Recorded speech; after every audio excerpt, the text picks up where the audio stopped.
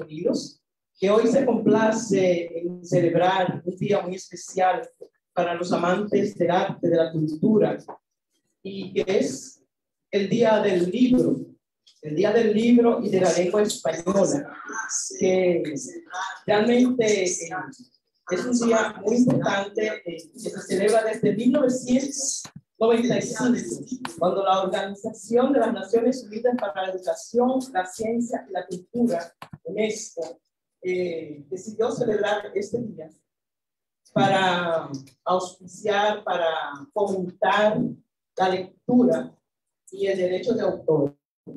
Pero también se celebra el Día de la Lengua Española, que es también un día muy especial que las Naciones Unidas eh, lo decidió en el 2010 porque decidió darle un día a cada una de las lenguas que son oficiales de las Naciones Unidas. Entonces, la lengua española es una de ellas, y además de que es una de ellas, esa lengua, la segunda lengua más hablada en el mundo. O sea que hoy es un día muy especial, sobre todo para los escritores, para los narradores, para las personas en general que aman la cultura. Por eso el comisionado de Cultura ha decidido celebrar este día en grande. Y en nombre de la comisionada de Cultura, Lourdes Batista, le doy la más cordial bienvenida a todos los que nos siguen a través de Facebook y a todas las personas que están aquí hoy con nosotros, porque tenemos un plato fuerte. Tenemos a dos expertos, dos profesores expertos, quienes van a disertar sobre la importancia que tiene la lectura a temprana edad, o sea, a nuestros niños, fomentar la lectura en los niños. Y para ellos tenemos aquí a dos expertos, como les dije, la doctora Ana Isabel Sayán y el profesor Wilson Hernández. Así que no hablo más en este momento para darle el tiempo a ellos que puedan desglosar este interesantísimo tema con ustedes. Bienvenidos una vez más. Gracias, Roby, por tan lindas palabras. Y para mí es un placer estar celebrando el Día del Libro, especialmente el Día, el día del Libro Dominicano, porque eh, veo que realmente el libro dominicano es un libro que debe más eh, eh, dispersado en todas partes, porque tenemos muy buenos escritores. Y es cierto, todavía nosotros, nuestros escritores internacionalmente, son muy poquitos los que se conocen. Lo que se puede mencionar a Pedro Enrique Sureña, Manuel del Cabral, Bosch, que hace su cuento que se ven aquí en las universidades, una de las cosas que yo me extrañé cuando yo empecé en la universidad, que yo veía que yo tenía que hacer eh, eh, investigaciones de escritores latinos. Yo nunca me encontré con un escritor dominicano. Y pienso que nuestra gente debería promover más nuestros escritores a nivel internacional. Debería crearse algún sistema por lo menos de, no sé, de embarque, quizá eh, cultura, gobierno, para dar a conocer nuestros libros. Porque ya el libro es la, la única fuente que puede enseñarle al mundo quién, quiénes somos y quién tú Es el libro que nos dice a nosotros nuestro pasado, nuestro presente y cómo ir hacia el futuro como base de lo que ya sabemos. Por lo tanto, me alegra mucho saber que está celebrando el libro dominicano. Espero que haya un poquito de cambio. Podamos llevar más libros dominicanos al mundo para que se conozca quiénes somos. Voy a leer una, una conferencia que ya la había hecho y cuando me hablaron de venir aquí, pues quise traerla. Se llama La importancia de la lectura temprana a temprana edad. La exposición temprana de los niños al lenguaje narrativo y poético, a los juegos de palabras y a las rimas, son elementos importantes en la apropiación distendida del lenguaje y a su vez la comprensión de las estructuras profundas de la lengua materna. Es decir, en la etapa de dos a tres años, los niños le interesan más la sonoridad que el contenido. Por tanto, es muy beneficioso para que el niño continúe exteriorizando el lenguaje y los silencios a nivel cognitivo. Además, les ayuda a crear asociaciones entre su experiencia y el mundo exterior. Por tal razón, la lectura no debe ser un acto rutinario ni obligatorio. Más aún, debe ser una acción que enseña a vivir la realidad a través de la palabra escrita. Leer es como entrar en comunicación con el mundo exterior. Por tanto, es un proceso de diálogo con los grandes pensadores de todos los tiempos para comprender sus pensamientos, descubrir sus propósitos, hacerles preguntas y tratar de hallar la respuesta en el texto. Por otra parte, la comprensión de la lectura es un proceso en el cual el lector decodifica palabras e ideas del autor del texto para alcanzar nuevos conocimientos, ya que la lectura es un acto de reflexión.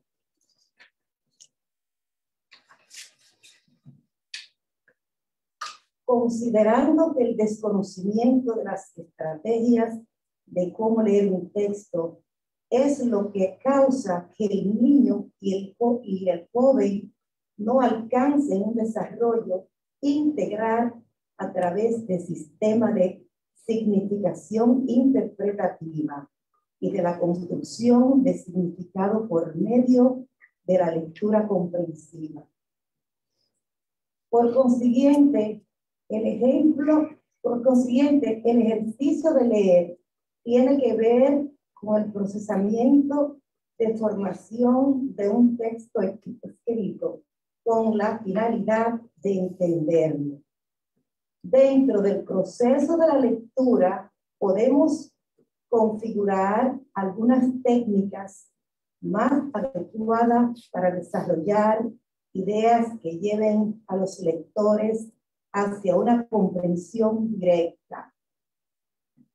Comprensión es dar el significado a los símbolos escritos con ayuda de las experiencias previas, visualizar el texto, predecir, conectar, interpretación. Cuando visualizamos el texto, es una práctica que yo como maestra hago con los niños. Yo le enseño el texto y le, le digo, cierren los ojos cuando ustedes miran la portada del libro, ¿qué ustedes cierran los ojos? Yo le pregunto, ¿de qué se trata este, libro? Imagínense nada más mirando las fotografías. ¿Qué tú visualizas mirando este libro? Y ustedes no tienen idea de cómo esos niños dicen cosas. Dicen cosas que, que es sorprendente, que tú dices, wow. Es otra manera de también hacerlo conectar con el mundo exterior. Se puede conectar con el mundo, con historias personales que a ellos le ha pasado. Eso es otra manera de cómo desarrollar la comprensión del niño, que puedan entender el texto. Y así podemos hacer también con cualquier texto que tengamos en la mano. O sea que no, no necesariamente leerlo, leer por leer, no se lee por leer, no se lee por decir, me leía a tal escritor, me he leído tanto libro. No, no, no, no. Se lee por placer y para entender lo que se está leyendo. es muy usual a veces la gente citar, ¿te leíste fulano? ¿Te leíste? Yo, tú sabes, yo lo pero realmente no creo que lo importante es que aunque te lea un solo escritor, tú lo entiendas y sepas interpretar lo que es el mensaje de ese escritor. Interpretación es darse cuenta de lo que dice el autor y establece relación comparativa, el mensaje del autor. Reacción manifiesta aceptación o inconformidad en la idea del autor del texto. Explicar por lo que te explicar por lo que te gustó y por qué no te gustó el texto. Integración. Mediante el, el raciocinio da valor a las ideas expuestas por el autor. Aplicar los conocimientos a la vida diaria. Por ejemplo, una manera de fomentar la lectura a nuestros niños es leerle a temprana edad, porque aumenta su capacidad de lenguaje. Es importante inculcar a los niños el amor por la lectura, ya que es uno de los mejores regalos que podemos ofrecer. Leer un cuento a los niños antes de ir a, dormir es de grande beneficio, ya que el cuento fue, es y siempre será una maravillosa forma de estimular la creatividad y de crear un vínculo irrompible, irrompible entre padres e hijos ya que sirve como actividad de relajación para los padres también. Es muy importante cuando se le a los niños, porque crea una rutina de, de, de familiaridad, de intimidad entre padre e hijo, y a la vez de estar desarrollando el niño muchísimas destrezas que son necesarias para su vida futura. Teniendo en cuenta que la imaginación cumple la función de potenciar la creatividad a través de los relatos. Los niños practican habilidades como aprender a escuchar e imaginar y fantasear. Una forma de lograr la creatividad es inventar un cuento y dar una nueva versión al cuento que más le gusta al niño innovar un cuento, cambiar los personajes del cuento. Todo eso, señores, yo lo hago con mi clase chiquitito.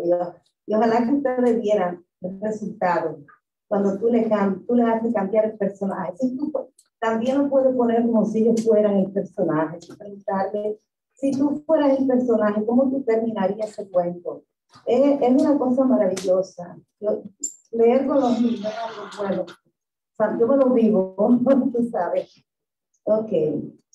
Además, la lectura también transmite valores positivos y ayuda al niño a entender alguna situación difícil a la cual está enfrentando. A veces, con la lectura, por ejemplo, ahora con la pandemia, el niño, la lectura lo ayuda a ser resiliente. O sea, porque es una manera de de cómo tú le dices, cómo tú cambiar a positivo algo negativo que te está pasando. Y eso se consigue a través de la lectura a través de las experiencias. En este caso, un cuento puede servir para complementar de manera creativa la educación de nuestros niños. Por ejemplo, apoyándonos en nuestras propias experiencias durante la niñez podemos crear una historia y hacer ver a nuestros hijos que están cometiendo algún error sin necesidad de que, se le diga directamente. O sea que se puede usar en todos los aspectos la lectura. Esto produce, esto se produce porque el niño se identifica con el personaje protagonista de la historia y hace que él reflexione sobre sus propias actitudes y comportamientos. Es por eso que la importancia de la lectura en voz alta, el apoyo familiar es fundamental a la hora de que los niños adquieran un buen hábito de lectura, leyendo en voz alta y leyendo juntos. Esta es una iniciativa de un consorcio europeo que agrupa diversas organizaciones para fomentar la lectura. Se trata de leer en voz alta a los niños desde su más temprana infancia, desde que están en la cuna. Muy importante leer en voz alta, porque yo, que para los niños, ellos, ellos ven más la sonoridad que ellos mismos de con tú el acento, que tú le pones la lectura, como tú le el cuento, es, es fabuloso. Por consiguiente, los beneficios son incalculables. Aumenta la capacidad lingüística de los niños. Comienza a distinguir letras, aumenta su conciencia fonológica, tiene mayores desarrollo de lenguaje oral, consigue un vocabulario mayor y más rico.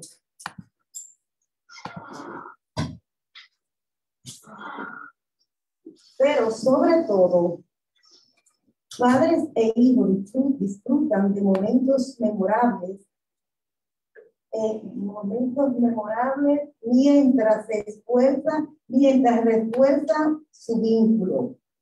Leer en voz alta en grupo transforma el ejercicio intelectual en experiencia social, ya que nos, nos comunicamos, nos entretenemos y aprendemos. Leyendo en voz alta, especialmente durante la infancia, es una buena forma de trabajar la autoestima del niño. También durante la infancia Contar la historia en voz alta a los niños aumenta la, la inteligencia simbólica, ya que permite elaborar y compartir mundos mentales. Activa la dimensión más lúdica, intuitiva y creadora de la inteligencia. Durante la lectura en voz alta, los niños aprenden porque desarrollan competencia cognitiva relacionada al lenguaje, que es el vínculo de transmisión de la lectura. Con esta práctica de leer en voz alta, los niños podemos trabajar la escucha, la memoria operativa, la expresión verbal, la lectura y por tanto la familiarización con el lenguaje escrito. Algunas de las cosas que debemos tomar en cuenta para ayudar a nuestros niños a desarrollar hábitos de lectura a temprana edad. Crear una biblioteca para que los niños entiendan cómo organizar y crear un horario de lectura. Ser constantes y leer todos los días en momentos relajados y con buena disposición para hacerlo. Llevar sus niños a las bibliotecas y a las librerías. Pedir consejo sobre los libros más adecuados para su niño. Escuchar las preguntas de sus niños y los adolescentes. Esta es la clave para aprender sobre sus gustos y motivaciones.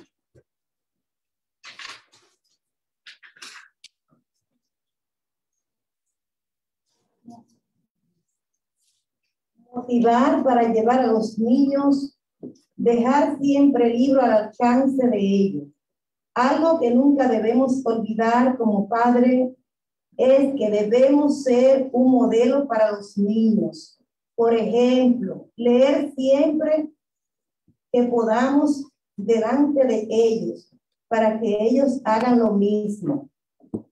Otra cosa muy importante es que debemos respetar el derecho a elegir un libro y tener en cuenta sus gustos.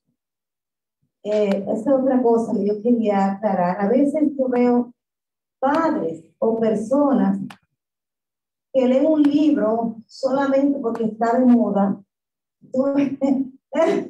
porque está de moda, porque otro lo leyó, alguien le dijo, yo leí este libro. Oh, tú no te has leído, y, lo grande que también te dice, oh, pero tú no te has leído a fulano, yo me leí a fulano. ¿Qué importa? La lectura es para deleite. La lectura no es porque tú leíste, porque hay que pedir. La lectura se disfruta, la lectura es como tú comerte un plato. O sea que hay tantas cosas. Pero la lectura es lo mejor. Otra cosa muy importante es que debemos, hay que respetar el derecho a elegir a un niño. Nunca imponer, es mejor sugerir y evitar lo más posible de tratar la lectura como una obligación. Finalmente, pienso que a través de la lectura podemos viajar a diferentes mundos, a crear como seres humanos y a entender todo lo que nos rodea. Muchísimas gracias. Si quieren. Uh, yo, siguiendo eso, uh, yo puedo hablar un poquito más sobre la importancia también de cómo refleja luego en la educación a medida que el estudiante va tomando más uh, a otro nivel, a otro grado. Uh, yo hice un sondeo a mis estudiantes. Yo enseño literatura latinoamericana, en español, y mis estudiantes son de noveno a 12 grados. Uh, muchos de ellos, en su mayoría, aprendieron, comenzaron a leer su padre lo comenzó muchos latinoamericanos, de, de, a, los, a los cinco o seis años. Para nosotros, yo creo, eso es muy tarde. Eso es muy tarde ya, porque desde que un niño, inclusive cuando el niño está en la barriga ahora, le ponen música, lo que se llama el efecto Einstein. Le ponen música y todo. ¿Por qué no un cuento? ¿Por qué, por qué no una poesía? También. ¿Por, qué también no una poesía también o, o, un cuento corto? No tiene que ser una novela. Pero el niño ya va formando ese sonido, esas palabras, que luego la va, a, cuando están en, en pre-kinder, que ven las letras A, B, C, D, ya saben el sonido, ya lo han oído ese sonido. Ah, luego van formando eh, vocales, con las vocales y, la, las consonantes van haciendo un sonido de sílabas, ya están formando sonidos. ¿Por qué no entonces a una temprana edad, pre-kinder, eh, primer grado, no ya comenzarle a leer, no solamente a leerle, sino enseñarle los sonidos? Muy importante porque porque ya en, los Estados Unidos, en nuestro país también, la República Dominicana, el nivel de lectura está muy, muy debajo, tanto en este país también. Y este país utiliza mucho el pre-kinder y hay muchos programas diferentes. Pero ¿qué pasa? Cuando llegan a la casa, no lo continúan. Entonces, es importante para nosotros, los padres, los tíos, los abuelos, leer un poquito, háganse una, una meta de leer por lo menos 10 minutos con el niño, así que ellos miren también las palabras, ¿no? Sentalado, eh, estrategia para, para eso. Muy, muy, muy, muy importante. Uh, otro tema que usted, usted habló también es la importancia de nuestros escritores dominicanos. Uh, yo estudié en, esta, en este país en la universidad, eh, tengo mi, y el único, el único escritor, bueno, eh, Enrique Ureña también, eh, fue que, que, mis profesores conocían más. Y, me, me, me, me, obligaron en un sentido a leer solamente a esa gente, a, Juan Bosch y a Enrique Ureña. Ah, muchos más, después me di cuenta, que escriben, pero su popularidad por élite no cabe.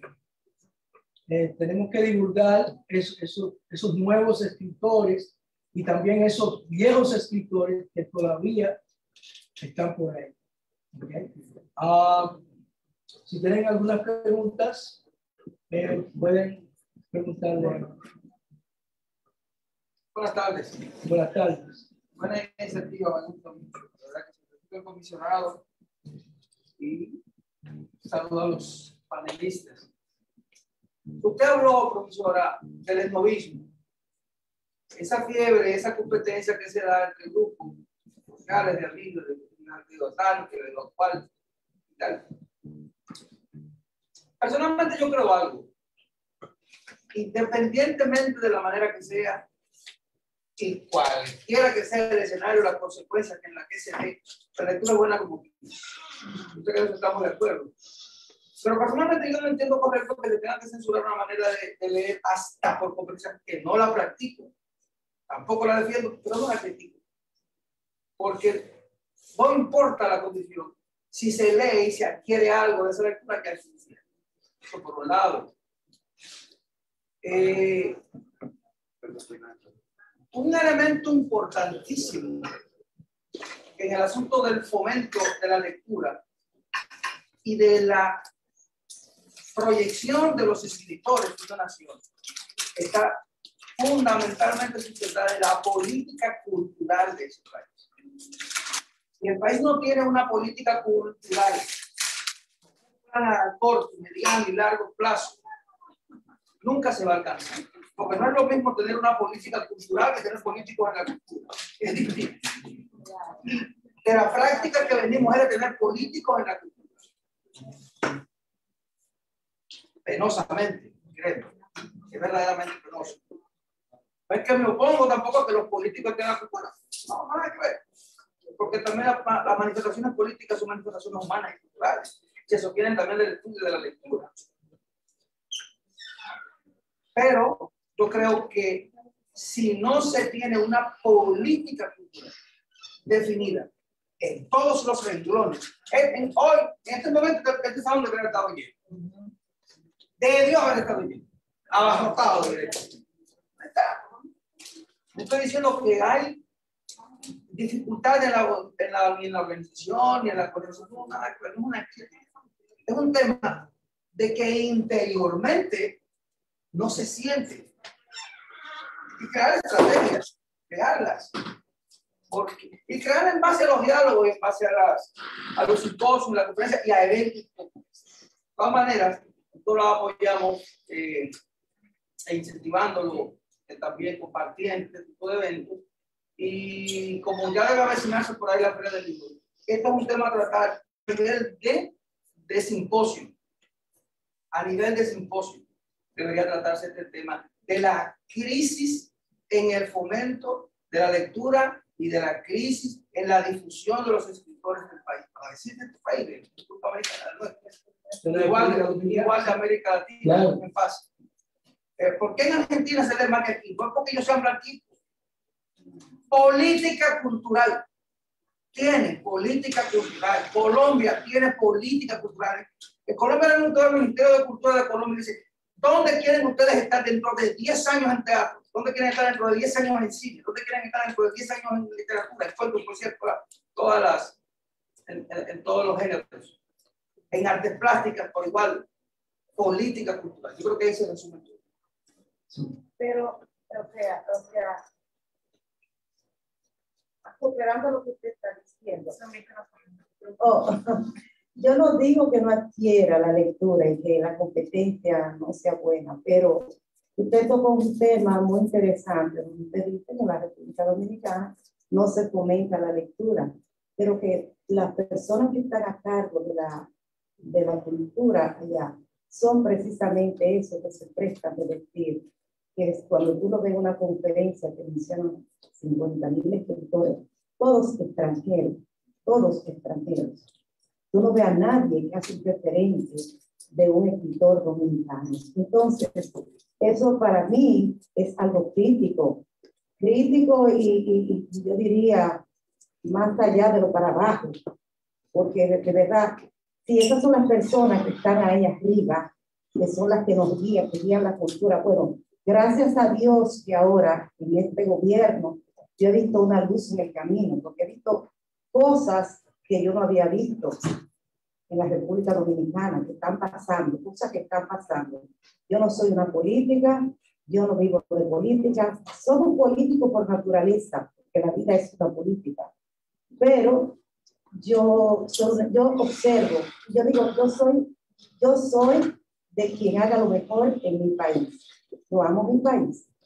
Yo viviré en mi país, eh, viajo a mi país cuantas veces pueda, pero sí reconozco que hay un atraso muy grande, muy, e inclusive en la cultura. Una razón que yo le atribuyo mucho de acuerdo a mis análisis es que las altas esquinas en la República Dominicana pertenecen a las élites. Entonces, por lo tanto, si usted se entra a los barrios, hay muchos muchachos poetas, muy buenos poetas, hay muchos muchachos buenos pintores, pero entonces son muchachos barriales, son muchachos que nadie lo va a ver, que te van a pedir una ayuda y se le niega. Entonces, un país que piense de esa manera, nunca vas a alcanzar un nivel de reconocimiento a nivel mundial. O sea, porque quienes están arriba, los lo llamados a dirigirnos culturalmente, no lo hacen porque tú no perteneces a su grupo. A eso me refiero. Estaba lo mismo, yo, yo, yo, yo puedo añadir un poquito también. Uh, eso sucede en, en, en, en la, en la escritura, en los escritores, en las artes plásticas, uh, eh, la artesanía. Hay un, eh, eso hay que erradicarlo en nuestro país, como usted dice. Hay que, hay que a, la vez de fomentar la, la, lectura, la escritura, las artes, hay que fomentar una especie de cambio cultural, de cómo, cómo nosotros podemos uh, en, total, en su totalidad cambiar la cultura social de nuestro país. ¿Cómo, cómo, podemos nosotros, como gente pensadora, eh, eh, cooperar con eso? Pero estamos, estamos fuera del país, eso, es verdad, muchos mucho estamos fuera del país. Pero hay mucho talento en la República Dominicana, usted dice, en los barrios, en los barrios. Y hay que fomentar esa gente que viene de abajo. No solamente eh, la élite, la élite, que todavía estamos como en una época colonial, como una época de castas. La casta eh, blanquita, la casta del medio, la casta más bajita. Entonces la casta de arriba siempre está en el poder, y no solamente por política, poder económico, más que otra cosa. Creo yo, el poder, el poder económico, eh, como por ejemplo hay, hay oh, perdón, hay, hay empresas, por ejemplo, que solo fomentan la gente que está eh, popular, en el sentido más arriba de los que están, y que los que están abajo también pueden ser mejores que los que están en, ese, en esa casta de, de, sociedad que tenemos nosotros todavía en la República Dominicana. Yo le digo una casta, como los tiempos coloniales, los criollos, ¿verdad? Lo, lo, que eran los criollos, los mestizos, los mulatos, los pardos, es una casta, no es, no es solamente, eh, no es solamente élite política, sino es una élite financiera en ese sentido.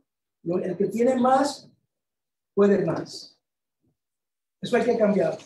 Bueno, eh, gracias, profesor Wilson Hernández, y gracias a la doctora Ana Isabel Sayán por estar hoy con nosotros.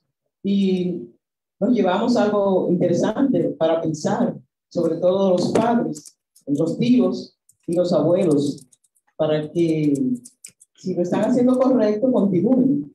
Y si por el contrario no lo están haciendo, por lo menos que comiencen a hacerlo.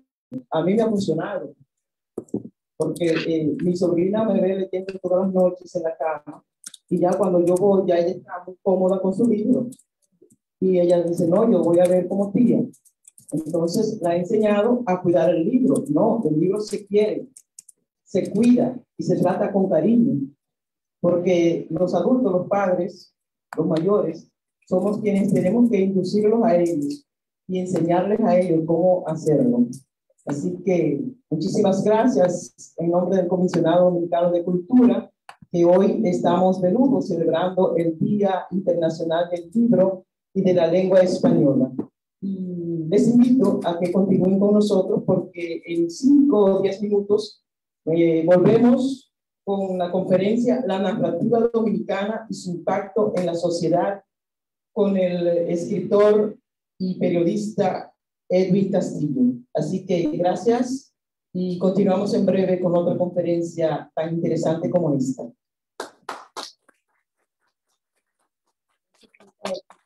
Si tienen alguna pregunta por ahí, por like, podemos hablar un poquito. Gracias, Roby, por la invitación. Es siempre un placer estar con ustedes y cualquier cosa, yo estoy a sus órdenes. Aquí están, yo tengo en Facebook, cualquier pregunta, cualquier cosa, ya nos podremos, comunicar, lo que tienen Gracias. Ah, yo, yo también estoy en Facebook, Wilson R. Hernández Peralta. Uh, ahí lo que van a ver mucha eh, literatura también, muchas fotos de la familia. Uh, yo soy amigo de todo el mundo. Cualquier pregunta que tengan, cualquier inquietud, me pueden buscar ahí. Continuamos entonces en el Comisionado Dominicano de Cultura celebrando el Día del Libro y de la Lengua Española.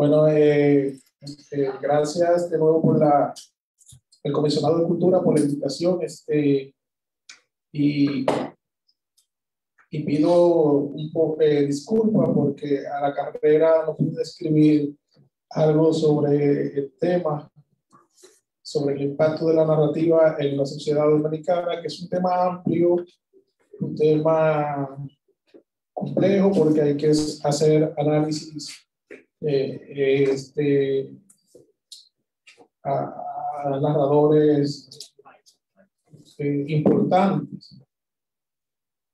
Pero vamos a, tratar de hacer algo y, y, también voy a hablar eh, sobre el impacto que yo he tenido con narradores que han sido mis, mis amigos y, y, eso. Eh, hablar del impacto de, de, la narrativa es importante hablar del profesor Juan Bosch, que es, después de la muerte de Trujillo es cuando llega con sus cuentos y su, narrativa, es de mucha influencia y todavía tiene una vigencia extraordinaria. Eh, lo que vivimos aquí en, Estados Unidos y hemos saboreado la narrativa de Juan Bosch cuando estamos en una fábrica trabajando, eh, recordamos ese cuento de los amos y otras cosas y, y, y, y otros cuentos y, volvemos a leer a Juan Bosch porque tiene un impacto de verdad y, fue, muy, fue muy influyente a, a esos nuevos narradores que, que después de la muerte de Trujillo empezaron a escribir, ustedes saben que, con Trujillo la, la, la, narrativa estaba secuestrada, apenas teníamos una sola antología de cuentos con Sócrates Nolasco, creo que del 57, 56 por ahí, pero después de, después de la muerte de Trujillo se atreve a, muchos escritores se atreven a escribir, influenciados por el profesor Juan Bosch. El profesor Juan Bosch eh, es un narrador muy importante en América, todos lo sabemos, en el mundo y, y, tiene un impacto de verdad tremendo. En cuanto a la vivencia que he tenido con, con, con narradores, recuerdo una experiencia que tuve con, con el mismo profesor Juan Bosch y, y, ahí es que yo, es que yo creo que, que, está un impacto verdadero. La sencillez de esos escritores, de esos narradores que tienen y, cuando ven a un joven interesado por la narrativa este, y, por la escritura, ellos, ellos le dan importancia. Yo recuerdo que yo siendo un niño, apenas unos 8 o 7 años, yo estaba jugando frente al partido, dentro del Partido de la Liberación Dominicana, en que quedaba en la Avenida Constitución de San Cristóbal, que luego supe que, ahí, que en ese mismo lugar vivió este escritor que fue para mí muy importante, que se llama Dios Vida, que estuvo aquí en New Jersey, que, que luego voy a hablar de él, mi amigo, mi maestro, de quien tengo mucha influencia. Yo jugaba ahí con, con otros amiguitos, recuerdo, y, y el profesor Juan Bosch venía saliendo con un grupo de personas. Y, y él se detuvo y nos llamó. Y a mí me dijo, ¿cómo usted se llama? Y le dije, dijo, volvió y dijo, ¿cómo? Edwin. Y yo lo vi que él subió de nuevo y alguien voció, oh, mira Juan Ahí fue que dije, Juan Y él, él, le decía algo a la, a la persona, lo señalaba, yo no sé lo que le dijo, pero él no, él, él no hacía así. Y, y para mí eso fue una experiencia maravillosa. Fíjense cómo una persona que fue presidente de la República, un narrador importante, un, narrador impactante para la sociedad, una persona muy importante, amigo de Julio Cortázar, eh, el mismo Gabriel García Márquez le decía maestro, tuvo la gentileza de ver niños descalzos ¿eh? jugando y se detuvo a saludar, a preguntarle el nombre a cada uno. Entonces, esos gestos eh, aparte de, su narrativa, esa sencillez del profesor Juan Bosch, de acercarse a, a, uno y, eh, eh, tiene un, valor importante, tiene un valor tremendo, esa sencillez.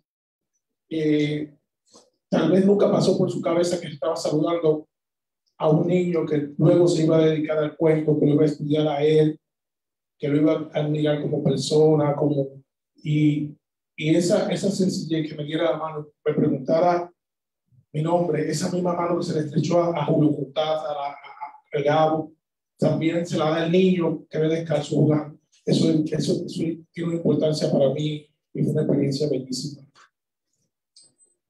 Luego, eh, de adulto, conozco a la literatura de Gabriel García Márquez y ahí es que donde me atrevo a escribir cuentos o relatos mal, mal elaborados y, cosas.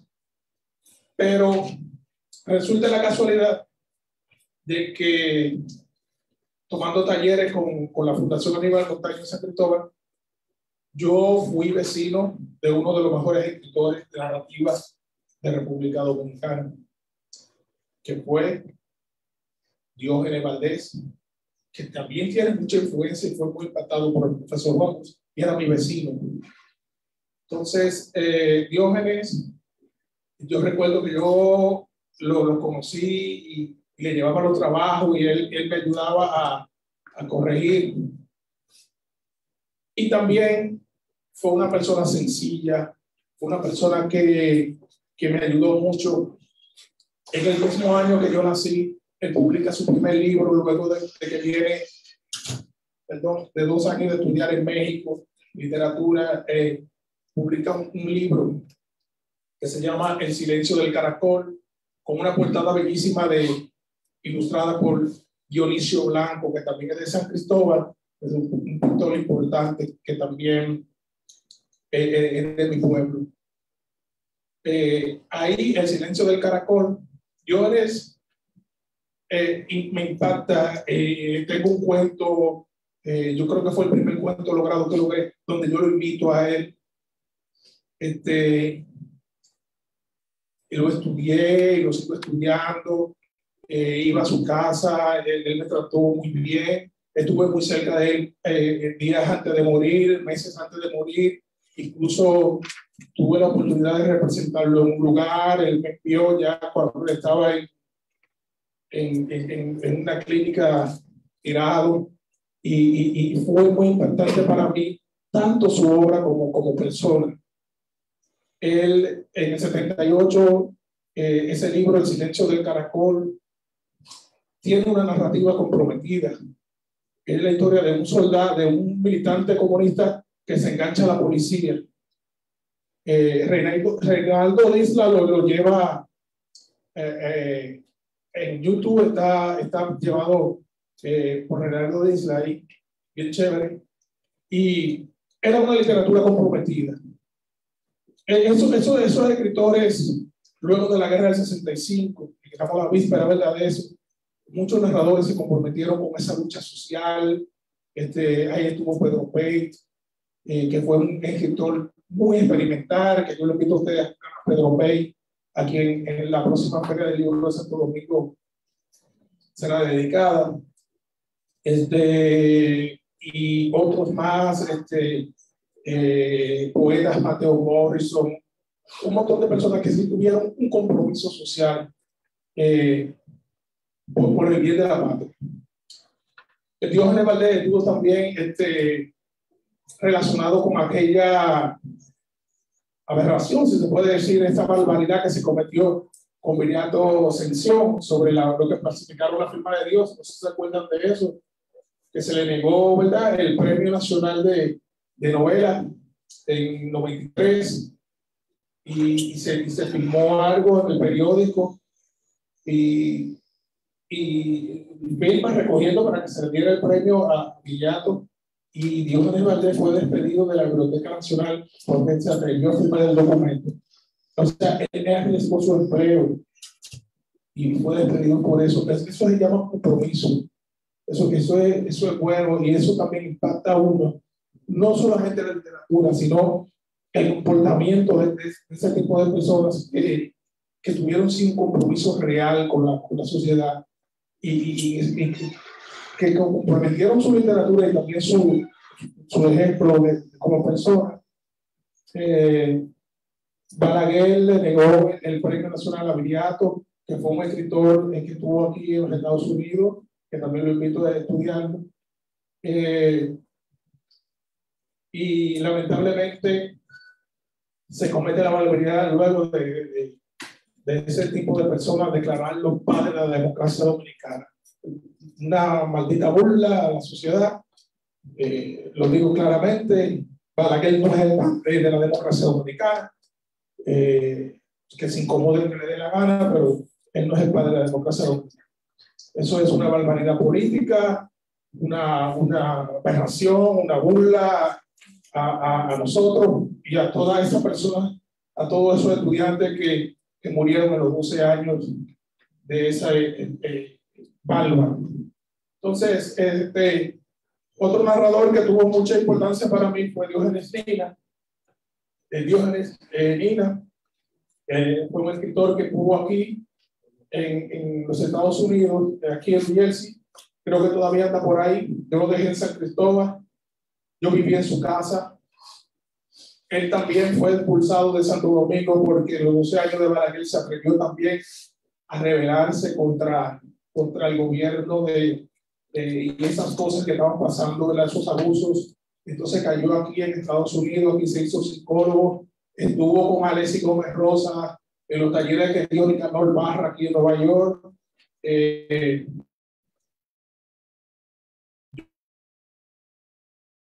por la nativa de Dios, lo sigo estudiando, viví en su casa, como te digo, en el 73, publicó un poemario que se llamó La, la Hora de la Araña, que a mí me fascinó por, la, por la, el atrevimiento que tiene esa poesía, la rebeldía, esa manifestación de, de rebelde que, que tenía Diógenes. Otro narrador también que, que me impactó mucho, tanto su literatura como su persona, fue Eduardo la Antigua. Eduardo la Antigua para mí es un escritor eh, importante de Santo Domingo que debe ser estudiado. Recuerdo cuando yo empecé a escribir narrativa, me la acerqué y él sin conocerme me regaló este mismo libro. Digo, toma, sin conocerme. Qué bonito gesto. Luego, cuando publiqué mi libro, lo vi aquí en Nueva York y le dije, Eduardo, ¿te acuerdas la, la, la feria del libro tú me regalaste un libro? Gracias, mira mi libro aquí también. Eh, y, y, y, y, qué bonito, qué bonito cuando, cuando un escritor ya logrado como Eduardo ve el interés en un joven, ¿verdad? Y le regala su libro le da consejo. Y, y así hay muchos escritores que, que lo han hecho conmigo y lo siguen haciendo con otros escritores jóvenes que, que están experimentando, que le dan un buen consejo, que lo ayudan. Y yo creo que ahí es que está la importancia del escritor en, eso, en esos comportamientos y el compromiso también estético y esa búsqueda original dentro de su narrativa. Yo creo que eso para mí es muy importante. Eh, ella me dice que en cinco minutos acabo, ¿verdad? Entonces, si quieren algún comentario o pregunta, porque no quiero hablar solo. Gracias.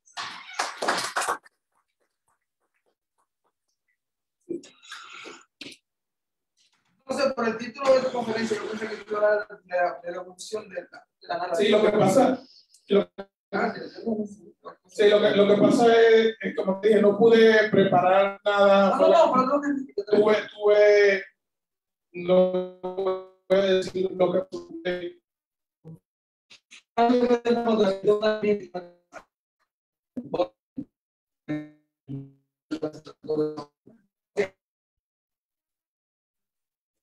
Con respecto al caso de Asunción, yo, yo no tengo, esto,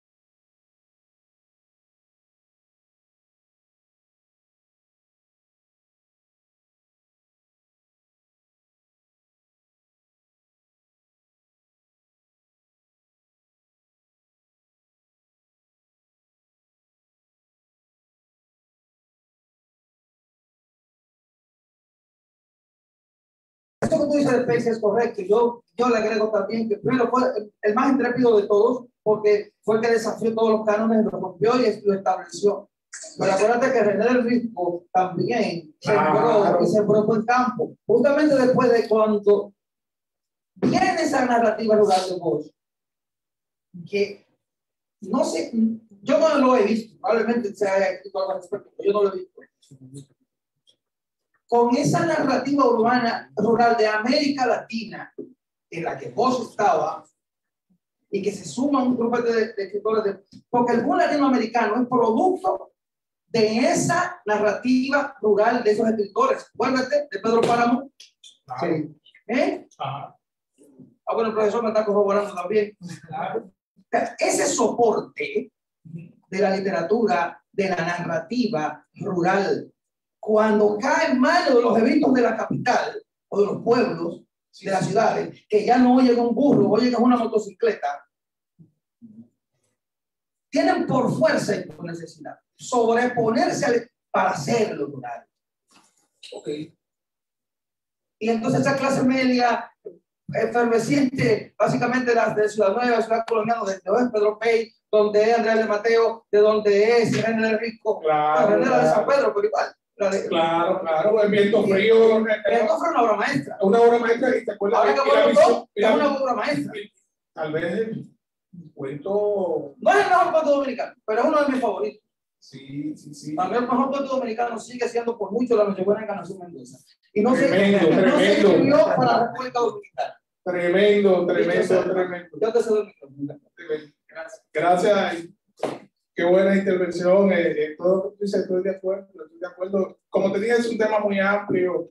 Hablar del impacto de la narrativa eh, dominicana es un tema eh, que hay que citar también eh, a Pedro Vélez, solo eh, Vélez, Sí, algunos de esos escritores sí, de, de los 80 fueron influenciados también por la música, por el bolero, por el bolero. La el tango. El tango, ahora, la- La ahora, ahora los narradores, eh, muchos estamos, Ah, estamos influenciados por la bachata sí.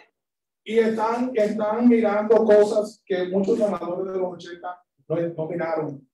Encontrar una literatura argentina, la lucha libre, encontrar eh, otra cosa, pues, eh, pero, pero están mirando cosas que...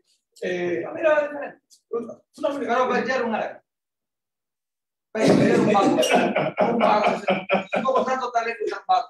Ah, Yo, yo tengo una preguntita. ¿Qué ustedes creen de los escritores dominicanos que están escribiendo que, que residen fuera del país? Porque hay, hay algunos que son muy buenos. Aunque escriban en inglés, pero también, como Julio Álvarez escribe en inglés y en español. Juno, unos días. Kiani. La antigua, Hay muchos eh, que el- el- el- acerca de la República Dominicana. Eduardo, personas también que están trabajando el teatro, Sí. que también están haciendo O sea, cosas maravillosas. Somos todos El dominicanos. cine también hay cosas, Sí. hay, hay una narrativa muy maravillosa. Somos todos dominicanos Eh, también. Porque, Porque aquí uno escribimos total- acerca de la nuestras experiencias vividas allá o de nuestro antepasado. Gracias, ya, ya me están diciendo que, que tengo que, que mover el carro. Tengo que. Muy agradecida de la participación de nuestro querido periodista y escritor Edwin Castillo. En tan solo dos minutos vamos a darle paso al panel de tres generaciones que van a hablar um, el libro y su conexión con el mundo. Va a estar integrado por Exiván Vicente, Wilson Hernández y Jairo Ramírez.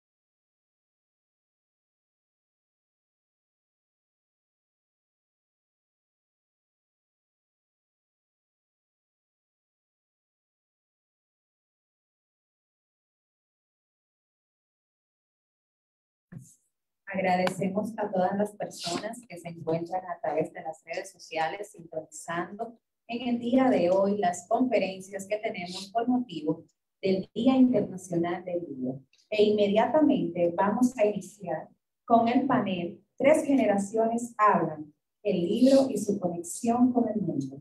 Los panelistas, Exibar Vicente, maestra y escritora, el profesor Wilson Hernández y el joven escritor, filósofo y poeta Jairo Ramírez. Le dejamos con nuestros panelistas estrellas.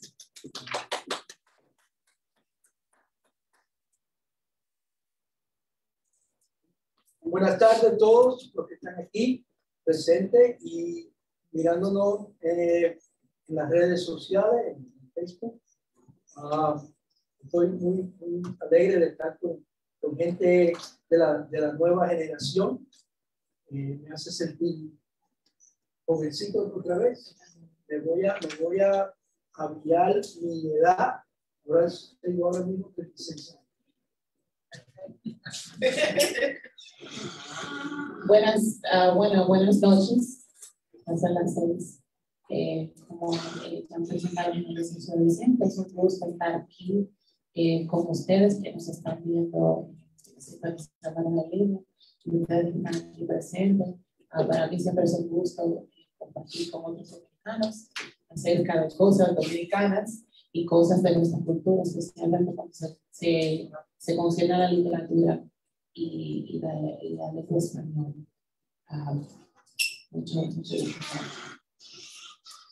Gracias eh, por la invitación, primeramente.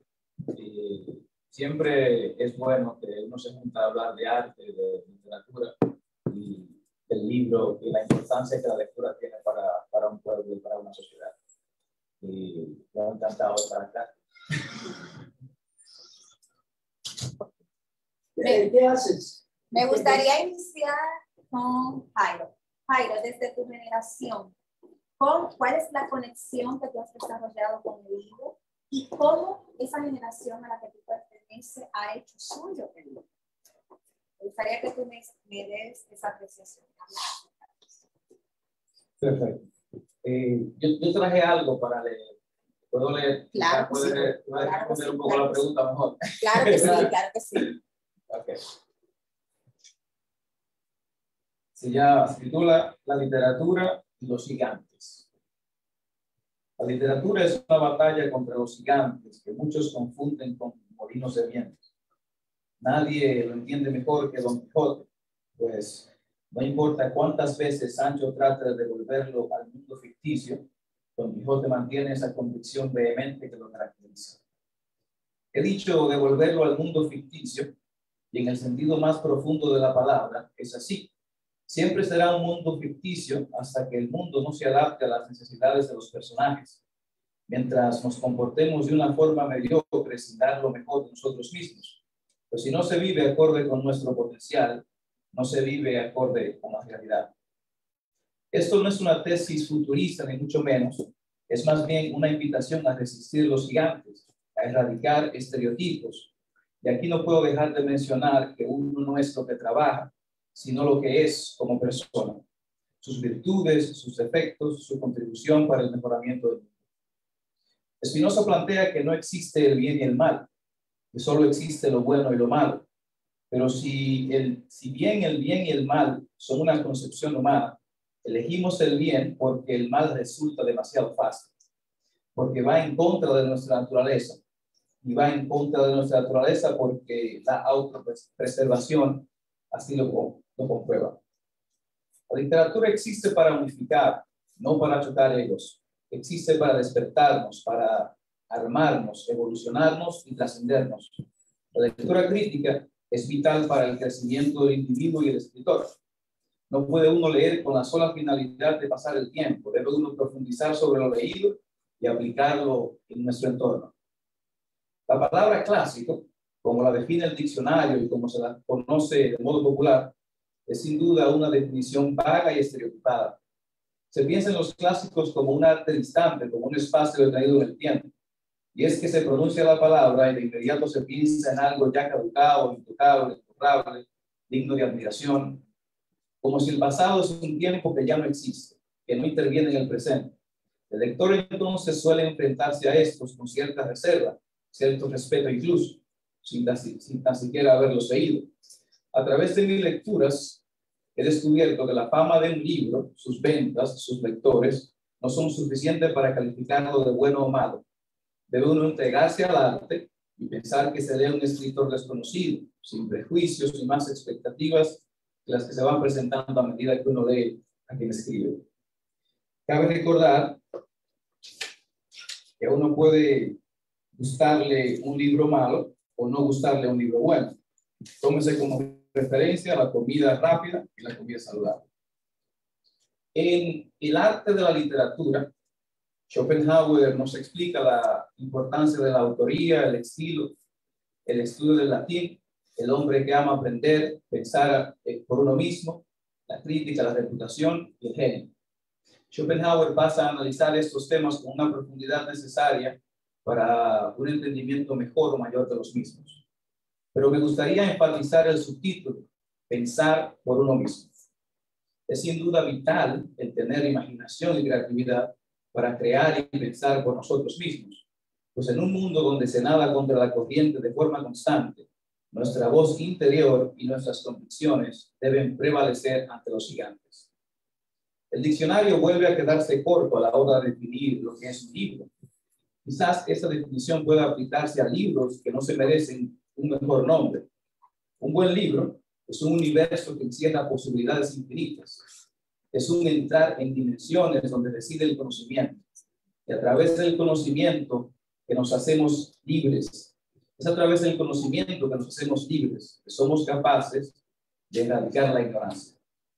Leer es despertar, es, confort, encontrarse de frente con uno mismo, pero también con el otro y con nosotros porque en la medida que la imaginación se eleva, también se eleva nuestro sentido común, la empatía hacia los demás. Es vital que los lectores y escritores, luego de haber adquirido cierta capacidad o entendimiento, no pierdan de vista la humildad. La humildad es la materia prima del mundo. Es de esta manera que el libro y el mundo se conectan. Y de su unión resultan esas dimensiones de conocimiento antes planteadas no le hacen un bien a Don Quijote al quemar sus libros. No lo intentan curar de un estado de locura, sino más bien devolverlo a la locura del mundo donde existen los molinos de viento. La literatura es eso, es Don Quijote haciendo, eh, luchando contra la locura del mundo. Un libro somos nosotros en este preciso momento, que compartimos una de estas dimensiones que nos encontramos sin pensarlo sobre un caballo recorriendo el mundo. La tarea de un libro es esa, y su conexión con el mundo, o sea, con nosotros, radica en entender la devoción grotesca para consumición.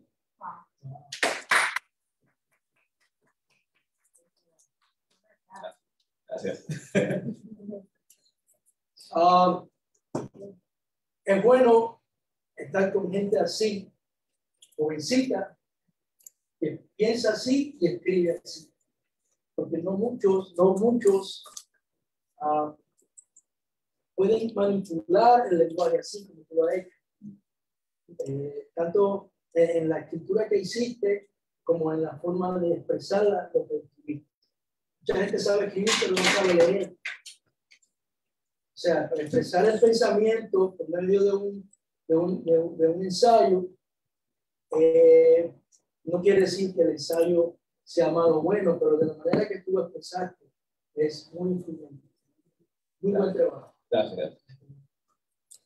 Definitivamente, y me parece muy interesante lo que mencionaste, porque eh, recordando yo mi niñez, yo creo que fue el primer libro que yo leí, que yo recuerdo de niña, y la experiencia que yo tuve es que yo puedo estar en, en, en, la habitación de la República y puedo ser transportada a un mundo completamente diferente que, que, es, que no es el mundo en el que yo estoy.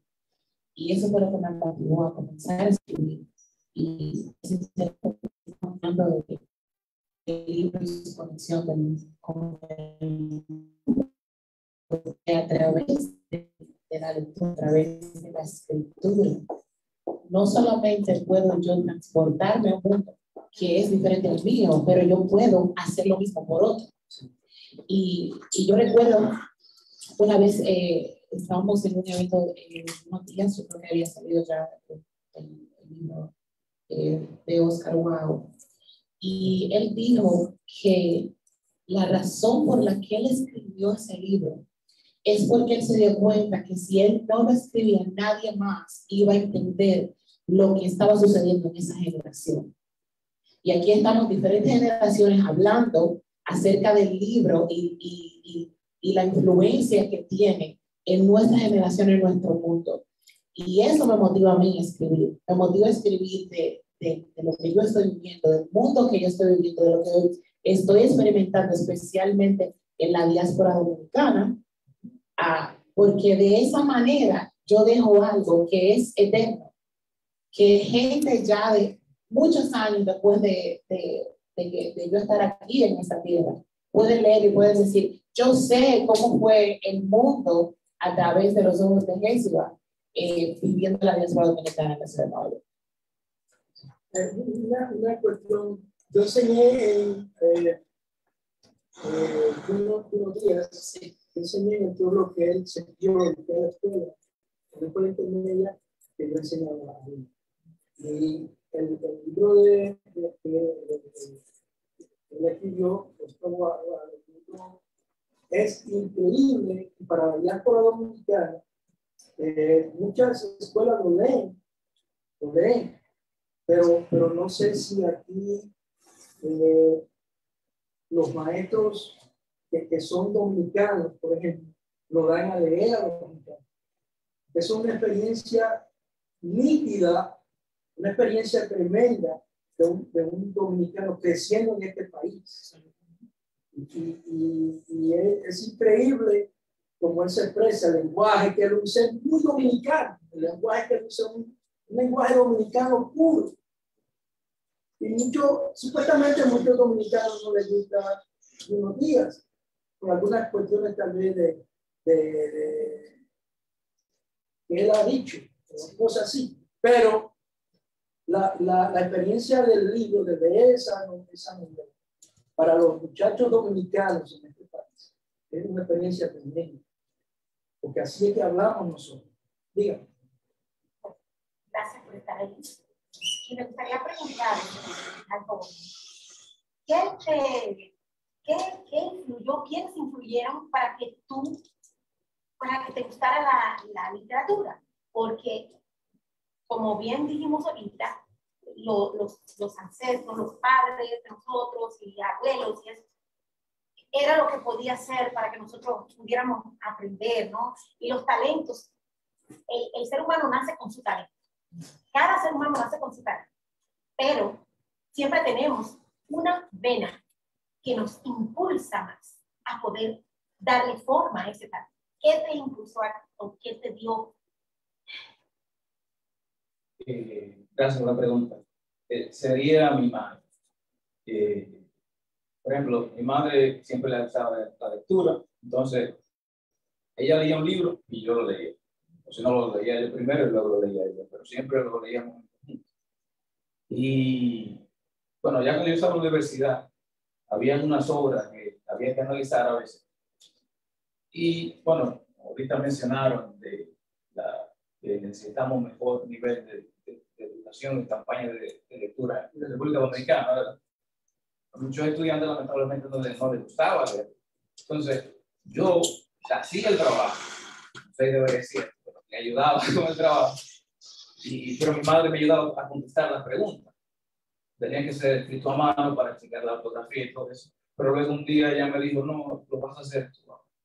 Si tú quieres ayudar, no hay un problema, pero eh, tú lees el libro, tú analízalo y tú contestas las preguntas. Gracias. Otra preguntita, ya lo digo. Si te ponen a escoger tres, tres talentos para tú desempeñar, y los, y los tres lo sabes hacer, que es pintura, lectura o literatura, y vaya, ¿Qué otro talento te ponemos? Cantar, interpretar. A sabiendo tú lo que, lo que te gusta por Sí. Literatura, yo creo. Yo creo que la literatura definido. a- a- importante. abarca la música, abarca la cultura. Eh, entonces, pues yo, yo también canto. Entonces, eh, vi un álbum y, y saqué un álbum musical y yo más o menos sé lo que se llama el mundo de la música y todo eso.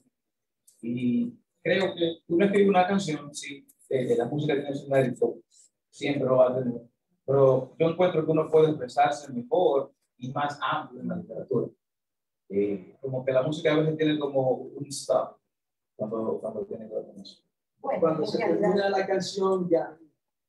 Bueno, en Sí, realidad, sí. eh, eh, eh, yo le pregunté el talento, porque Sí, Dios sí, le sí. da el talento a cada uno. A mí no me gusta la lectura, yo canto, soy intérprete, me encanta cantar, Sí. pero leemos. No, no, como le digo, eh, a mí también me encanta el canto, sonaba igual, pero digo, eh, no, no creo que solamente se quede ahí la, la, la canción, uno luego piensa en la canción y todo eso, pero creo que, por ejemplo, en un ensayo uno puede desarrollarse más, en una novela, Sí, sí, sacarlo todo. exacto. En una canción está más comprimido y más eh, sujeto a, a ciertas reglas. Sí. Yo tengo una pregunta para usted. Diga. Eh, yo quisiera saber qué usted piensa que nosotros podemos hacer para promover la literatura, especialmente la, la, la literatura eh, dominicana, de escritores dominicanos, como se pone como Jairo, Sí. representando otra generación. ¿Qué nosotros podemos hacer para promoverla, no solamente en el país, pero fuera del país?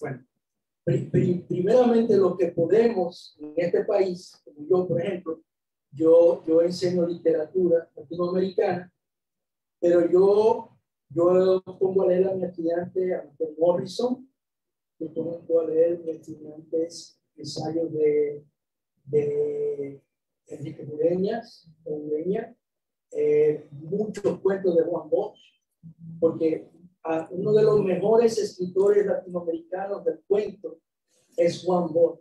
Sí. Eso lo saben hasta los médicos chinos, como decimos. Y, y como él escribe, él, él tiene un pequeño ensayo eh, eh, de cómo escribir un cuento. Eso lo lee todo el mundo en Latinoamérica. Y hay mucho Juan Rulfo, y hay mucho Cortázar, y hay mucho... eh, pero a Juan, a Juan Bosch lo lee todo el mundo en Latinoamérica. Dígame. Sí, pero eh, yo creo que también ya, ya esos son eh, escritores bien establecidos que son, claro, eh, ya, eh, pero también hay, hay jóvenes que están haciendo cosas maravillosas. Que, Eso es, eso es lo que yo me refiero. Que- mira, eso está bien. Si, si yo, por, por ejemplo, yo puedo mirar a Jairo y yo puedo decir, este va a ser el próximo Juan Bosch, o este va a ser la persona que va a llevar ya. Óyeme, yo no he terminado. Ay, Oh. perdón, perdón. La cuestión es, vamos, vamos a conocer, como tú dices, la palabra clásico de nosotros, Sí. lo que ya tienen una importancia, podemos entonces incautarle a los lectores, a los otros maestros de literatura de la escuela de inglés, donde que enseñan inglés, ¿verdad? Eh, no como segunda lengua, clases de inglés como literatura, pueden entonces coger, eh, por ejemplo, a mí hay eh, maestros que yo le doy que me preguntan, porque tenemos muchos estudiantes latinoamericanos y me preguntan que, qué escritores dominicanos. Yo conozco la mayoría de escritores dominicanos que yo conozco son de la diáspora. escriben en inglés y en español. En mi escuela leemos a Julia Álvarez, a Bruno Díaz. Yo no conozco tantos escritores, Fran Baez, Lugar, pero que, ¿dónde están Muchachos. ellos? ¿Dónde yo puedo conseguir los libros si no conozco a esa gente? ¿Me entiendes? Entonces, tiene que haber una, una avenida, una callecita por ahí que diga, por aquí está Fran Baez, por aquí está este tipo. No lo hay ahora mismo en, en la diáspora. tampoco en la República Dominicana. Estamos, en la República Dominicana hay muchos escritores buenísimos, yo lo sé, pero no lo sacan a la luz. No salen a la luz. Dice, ¿cómo, tú, cómo dices tú? ¿Cómo sacarlo a la luz? Dando a conocer lo, lo, que dicen que son buenos, que se conocen, y dar ejemplo de que podemos, que hay muchos que escriben, como hay algunos que conocían. Yo puedo poner un poema tuyo en mi clase si tú lo tienes traducido, lo uso en la traducción. Si no lo tienes traducido, yo lo traduzco y se lo doy a un maestro de, inglés para que lo enseñe como una clase de inglés. Porque la literatura en cualquier idioma es literatura. ¿Entiendes? Pero, también, también existe, existen otros, otros espacios. Por ejemplo, cuando el, el comisionado de cultura vuelva a hacer la feria del libro, que siempre venían las mismas personas ya establecidas, los mismos escritores, que haya una dinámica más democrática con, con fulano ya establecido y dos jóvenes que, que están publicando y, y, tener conexión también con las editoriales independientes que están en Santo Domingo y decirle eh, cuántos libros eh, escritores independientes tiene, dámelo y yo te garantizo que la compra. Entonces, eso también, eso también porque antes en, esta feria, en España, a España iban la misma gente. Aquí a Nueva York venían la misma gente todos los años. Entonces, ¿cómo, cómo eh, eh, eh, también hay otra parte? Hablamos de cambiar la cultura social. Exacto. ¿Cómo lo hacemos? Participando. Si yo, si yo comienzo a hablar de Jairo en mi escuela y lo enseño a mi clase y los estudiantes hablan de cualquier poema o cuento o ensayo que escriba, se lo van a transmitir a los maestros de inglés para que utilicen eso porque les gustó. No podemos limitarnos al español nada más. Estamos en América también y hablan inglés. Y nosotros, como Jairo, por ejemplo, escribo aquí. Tú puedes escribir en inglés lo mismo que escribo en español, con el mismo sentimiento y con las mismas palabras. Eh, óyeme, en Spanish, the Puerto Rican poetry la, la, los puertorriqueños son increíbles. Hay mucha, mucha literatura en, en, en Puerto Rican poetry que es increíble y es español. Y dice, no, que el español no se debe de usar.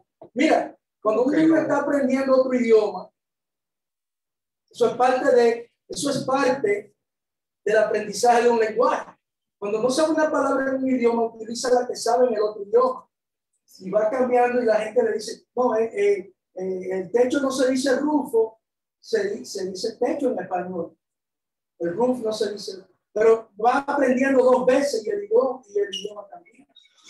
Y, eso a mí me encanta, la, la, la, la poesía del barrio. Me encanta porque yo, yo ayudo a mi estudiante cuando están hablando español, perdóname, uh, cuando están aprendiendo español, yo les muestro esa poesía y les digo, tradújame en inglés usando esa palabra. Yo quisiera mencionar dos cosas, porque a mí me interesa. Yo como dominicano, muchas veces nosotros somos identificados problema. Tenemos el problema que,